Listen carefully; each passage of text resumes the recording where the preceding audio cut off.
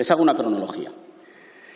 En mayo, Díaz Ayuso insistía en hacer pasar a Madrid a la fase 1, a pesar de que no tenía refuerzos sanitarios suficientes, no tenía capacidad suficiente de hacer PCRs, ni tenía suficientes plazas libres en las UCIs. El 7 de mayo dimite la directora de Salud Pública de Madrid por no estar de acuerdo con la decisión de Ayuso de pedir el cambio de fase.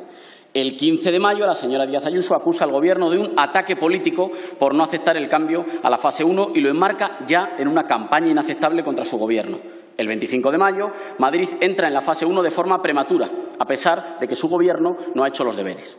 La señora Ayuso en mayo decía que iba a contratar mil rastreadores. Estamos en octubre y tenemos la mitad. Prometió que iba a hacer 850.000 test aleatorios. Un mes después tenemos 5.400 prometió que contrataría 10.300 profesores. Aún faltan 1.600 y los que se han contratado se les ha hecho de forma interina hasta diciembre. En un pleno celebrado el 11 de junio, justificó el drama humano y la vergüenza de las residencias de mayores entregadas al mejor postor durante muchos años, diciendo, a pesar de que eran de sus competencias, que es que no estaba recibiendo ayuda.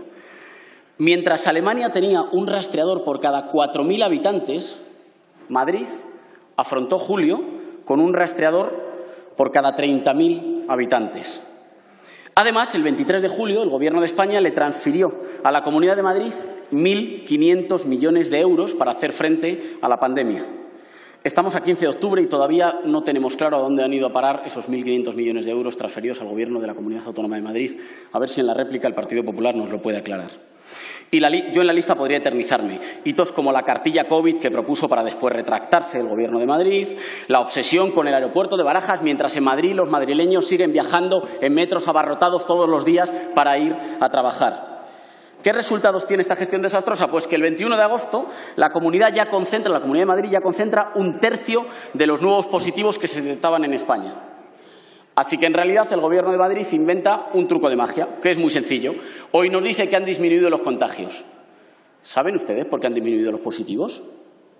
Es muy sencillo, porque se hacen menos pruebas. Así que Madrid hoy hace 100.000 PCRs menos que hace 14 días. Ojo que la fuente es la Consejería de Sanidad del propio Gobierno de Díaz Ayuso de la Comunidad de Madrid.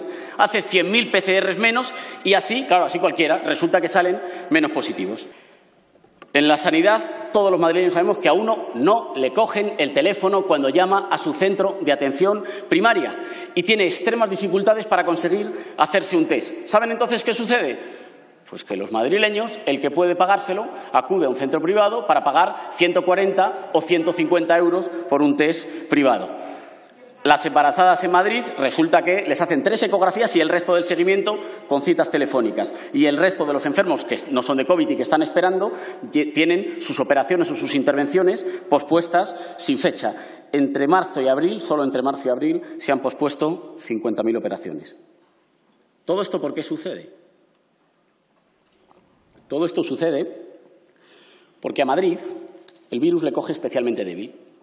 Porque Madrid llevamos casi un cuarto de siglo de una política deliberada contra la sanidad pública.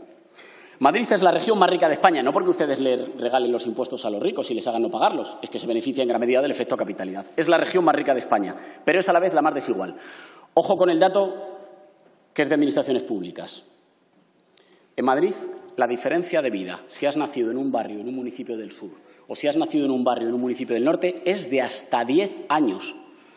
Cuénteme ustedes ahora de la meritocracia, de la igualdad de oportunidades y lo que hay que forzarse en la vida. Diez años de diferencia de vida según si has nacido al sur o al norte de la Comunidad de Madrid. Madrid es la comunidad autónoma que menos invierte en gasto sanitario público, la tercera que peor paga a sus profesionales, y luego dicen que es que no hay gente que quiera ser médico, y la que menos destina a la atención primaria. ¿A quién le sorprende entonces que sea la más golpeada por los efectos del virus?